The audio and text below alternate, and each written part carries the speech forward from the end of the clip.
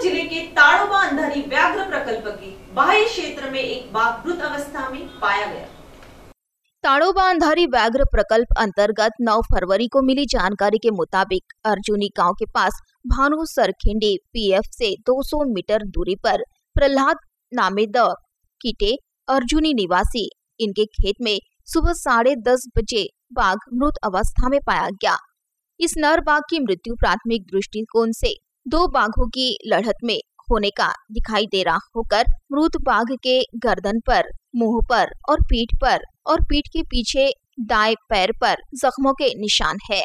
राष्ट्रीय व्याघ्र संरक्षण प्राधिकरण इनके मानक कार्य प्रणाली के मुताबिक आगे की कार्रवाई की गई होकर उप संचालक जी गुरु प्रसाद उप संचालक श्री काड़े, मानद वन्यजीव रक्षक बंडू धोत्रे, पीसीसीएफ प्रतिनिधि मुकेश भांदक्कर, सहायक वन संरक्षक खोरे एड़े, वन परिक्षेत्र अधिकारी आरजी मोन, शेंडे, पशुवैद्यकीय चमुके, खोबरागड़े, पोर्चेलवार, राहुल शिंद्रे इनकी उपस्थिति में मृत बाघ का शव विच्छेदन कर दहन किया गया।